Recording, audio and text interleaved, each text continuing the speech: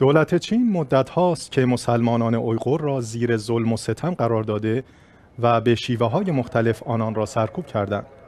در این میان کشورهای غربی نه با هدف دفاع از مسلمانان بلکه با هدف اعمال فشار علیه چین همواره, بر دفاع، همواره در دفاع از مسلمانان اویغور مقابل دولت چین موضع گیری می کنند. همکارم ماده خاموش گزارش میده.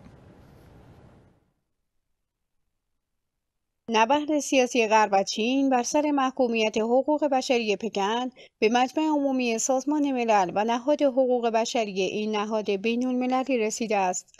این خبر را روزنامه گاردین در گزارشی فاش کرد و نوشت های غربی در صورت ارائه قطعنامهای در شورای حقوق بشر سازمان ملل که خواستار تشکیل یک کمیسیون مستقل برای بررسی موارد نقض حقوق بشر توسط چین در سینکیانگ هستند خطر شکست احتمالی را میسنجند. میشل باشله کمیسر وقت حقوق بشر سازمان ملل متحد 31 آگوست گزارشی منتشر کرد و مدعی شد شواهد روشنی از جنایت ها علیه بشریت توسط چین در جریان سرکوب مسلمانان اویغور در استان سینکیانگ وجود دارد.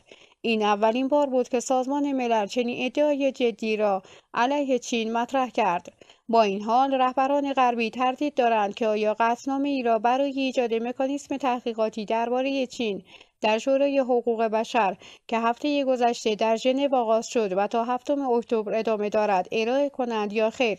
به همین خاطر های چین از قبل بسی شدند و سهشنبه گذشته سفیر چین در ژنو بیانیه‌ای با حمایت سی کشور صادر و دفتر حقوق بشر سازمان ملل را متهم کرد. که بدون دستور و سیاسی عمل می کند. با اینکه تعداد امضا کنندگان این بیانیه ده کشور کمتر از ماه گذشته است که از خانم باش خواسته بودند گزارش ضد چینی خود را منتشر نکند اما به هر حال نشان از سختکشی های چینی است گفتنی است چین به زندانی کردن یک میلیون مسلمانان اویغور و شکنجه آنها متهم است این کشور همچنین به ایراد فشار بیامان به نزدیک به ده میلیون مسلمان ترک تبار در استان سینکیانگ متهم است که البته همه این اتهام ها را رد می کند.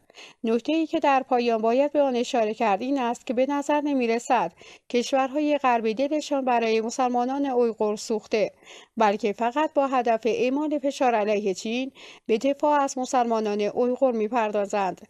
مایده خاموش اخبار شیعه